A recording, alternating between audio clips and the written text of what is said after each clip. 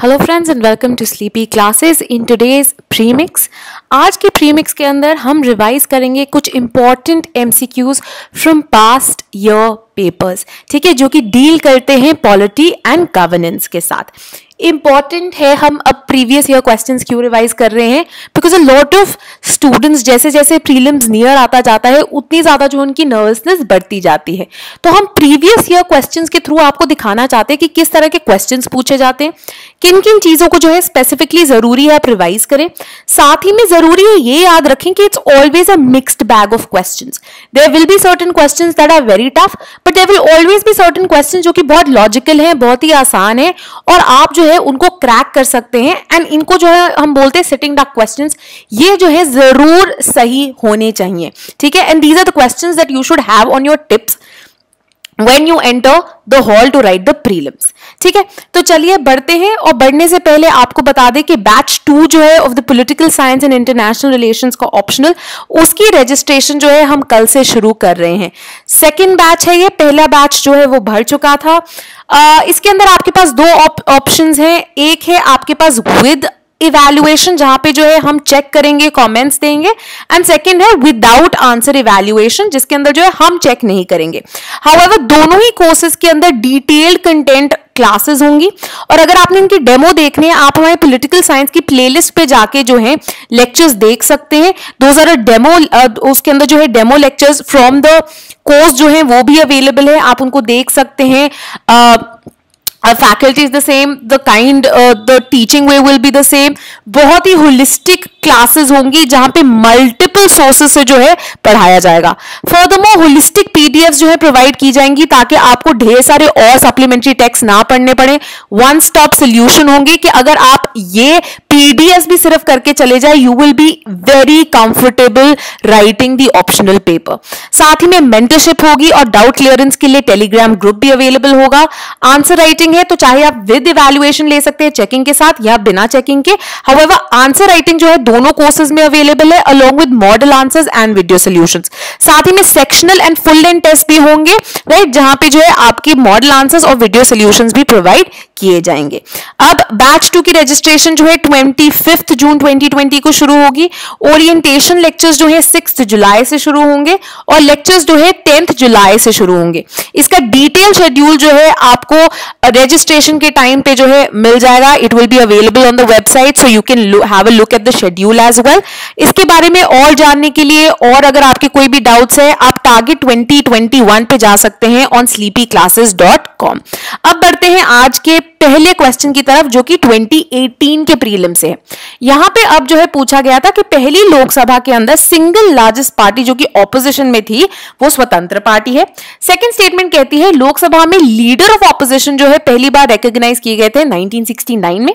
और third statement कहती है कि लोकसभा में अगर किसी पार्टी के पास मिनिमम 75 मेंबर्स ना हो तो लीडर जो है लीडर ऑफ़ ऑपोजिशन की तरह रिकॉग्नाइज नहीं हो सकते।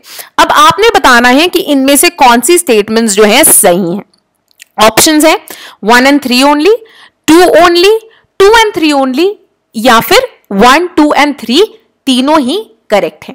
राइट अगेन अगर आपने लक्ष्मीकांत ध्यान से पढ़ी है रिवाइज की है पार्लियामेंट का चैप्टर पढ़ा है, ये क्वेश्चन जो है रिलेटिवली इजी होना चाहिए। और इसका सही जवाब है टू ओनली सिर्फ़ सेकंड स्टेटमेंट जो है करेक्ट है, पहली और तीसरी स्टेटमेंट जो है गलत है। कांग्रेस पार्टी ने जिसने एक थंपिंग मेजोरिटी जीती थी in the first Lok Sabha right उनकी जो सेकेंड ऑपोजिशन के अंदर मेन पार्टी थी that was the Communist Party of India and not the Swatantra party statement two absolutely सही है। 1969 में जो है पहली बार एक official leader of opposition recognise किए गए थे। हाउएवर तब भी जो है ये पोस्ट स्टैचुटरीली रिकग्नाइज नहीं थी।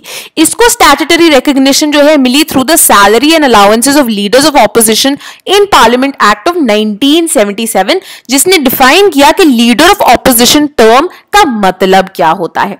अब स्टेटमेंट थ्री भी इनकरेक्ट है ठीक है? अब इसके रिगार्डिंग भी जो है कुछ डिबेट्स है। फॉर एग्ज़ाम्पल अगर हम देखते हैं salary and allowances of leaders act वो क्या कहता है? वो कहता है कि लीडर ऑफ़ ऑपोजिशन वो मेंबर ऑफ़ लोकसभा या राज्यसभा है, जो कि for the time being is the leader of that house of the party in opposition ठीक है? जिनके पास ग्रेटेस्ट न्यूमेरिकल स्ट्रेंथ है आफ्टर ऑब्वियसली द गवर्नमेंट जो कि, जिन पार्टी जो कि, जिन्होंने गवर्नमेंट बनाई है एंड रिकग्नाइज किया जाता है इनको as leader of opposition by the chairman of Rajya Sabha in Rajya Sabha या फिर स्पीकर इन लोकसभा अब थर्ड स्टेटमेंट इनकरेक्ट क्यों है? क्योंकि 75 मेंबर्स का कोई ऐसा टर्म नहीं दिया गया है। ठीक है? बस ये माना जाता है कि जो लार्जेस्ट ऑपोजिशन पार्टी है जिसके जो लीडर हैं, जिनको LOP leader of opposition recognise करा जाए, उस पार्टी की at least one tenth of the seats होनी चाहिए of the total strength of the house और उनको रिकॉग्नाइज किया जाएगा as the leader of opposition next question जो है अगेन 2018 से है कंसर्न्स द नाइन्थ शेड्यूल पहली स्टेटमेंट कहती है कि जो पार्लियामेंट है, उन्होंने वो प्लेस कर सकते हैं, कोई भी लॉ को under the nine schedule of the constitution of India second जो वैलिडिटी है of a law placed in nine schedule उसको एग्जामिन नहीं किया जा सकता बाय एनी कोर्ट एंड कोई जजमेंट जो है उस पर नहीं दी जा सकती।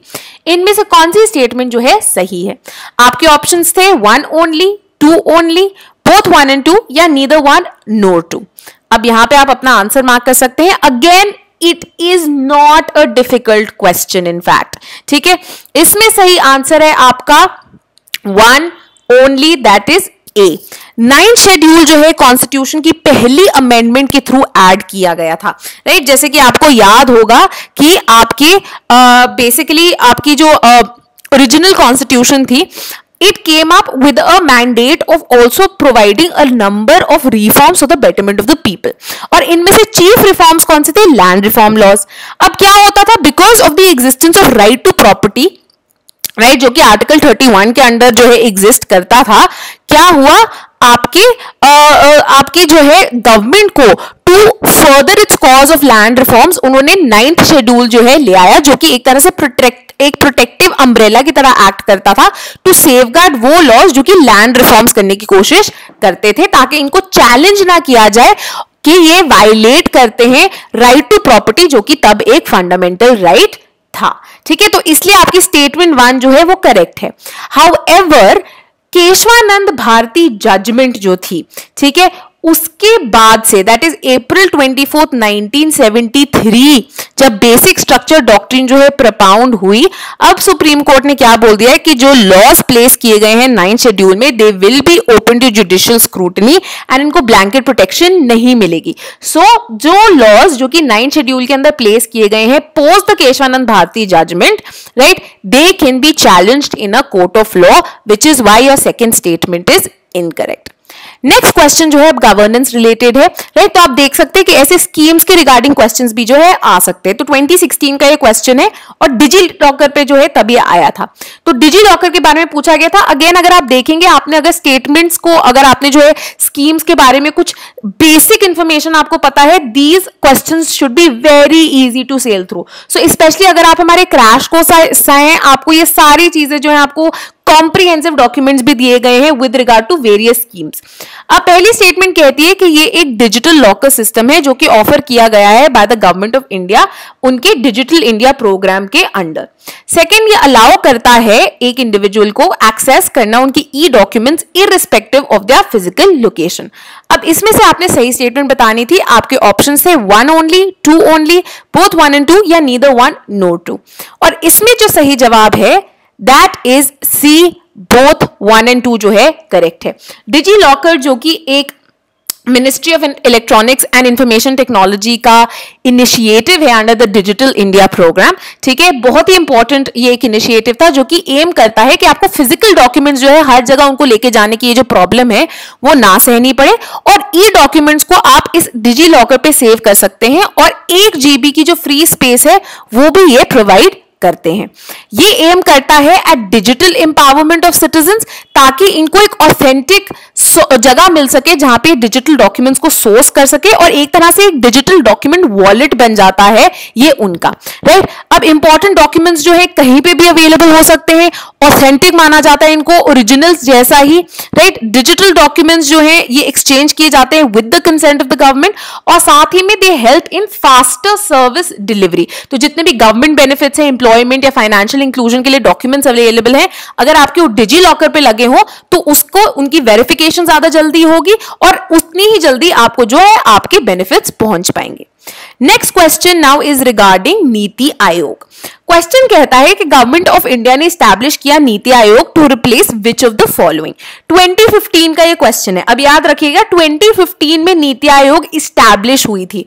तो हमेशा जिस भी साल यहाँ पे प्रिसीडिंग ईयर तो 2019 2020 में अगर कोई नई ऑर्गेनाइजेशंस आई हैं नई इंस्टीट्यूशंस आई हैं या even 2018 nine so recent years में जैसे अगर कोई बनी है फॉर एग्जांपल एनसीबीसी हो गई राइट right? uh, उनके बारे में बेसिक इन्फॉर्मेशन याद रखना बहुत ज़रूरी है क्योंकि उनके ऊपर जो है क्वेश्चंस आ सकते हैं 2015 में नीति आयोग आई थी तो काफ़ी अभी हमको बहुत ही सिंपल क्वेश्चन लगता है बट वही बात है कि यूपीएससी में भी ऐसे सिंपल क्वेश्चन आते हैं राइट right? तो ये जो है सिटर क्वेश्चन है आपके राइट right? आपके ऑप्शन थे ह्यूमन राइट्स कमीशन को रिप्लेस करती है फाइनेंस कमीशन को लॉ कमीशन को या प्लानिंग कमीशन को वेरी इजी राइट ये रिप्लेस करती है किसको? डी प्लानिंग कमीशन को, ठीक है? तो नीति आयोग, जो कि एक पॉलिसी थिंक टैंक है 2015 में जब एनडीए गवर्नमेंट आई राइट ट्वेंटी फोर्टीन में जब एनडीए गवर्नमेंट आई फिफ्टीन में उन्होंने ये नीति आयोग को इस्टेब्लिश कर दिया रिप्लेसिंग प्लानिंग कमीशन ठीक है, ये एक पॉलिसी थिंक टैंक है जो कि बेसिकली कोऑपरेटिव फेडरलिज्म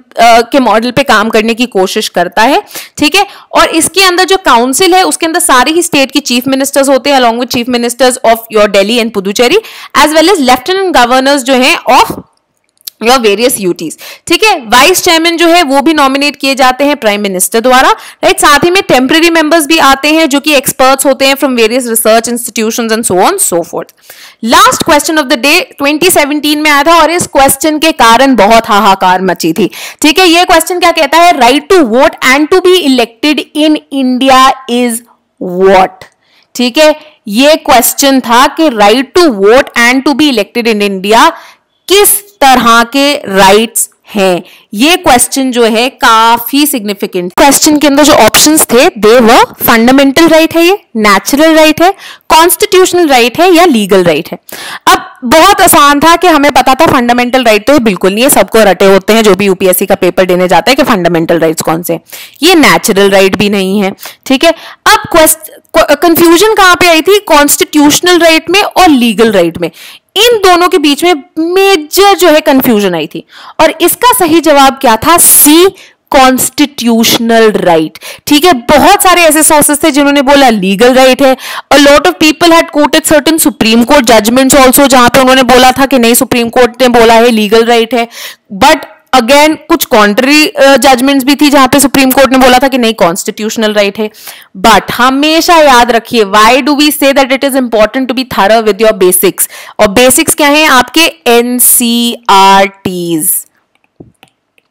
ठीक है, हमारी बैक टू बेसिक सीरीज़ में हमने इनफैक्ट एनसीआरटीज भी कवर करवाया है और आपका जो चैप्टर थ्री है, जो कि इलेक्शंस के साथ डील करता है, उसी के अंदर इस क्वेश्चन का आंसर भी था राइट आपकी जो एनसीआरटी थी, उसने क्लियरली स्टेट कर दिया था कि ये क्या है? ये कॉन्स्टिट्यूशनल राइट्स हैं।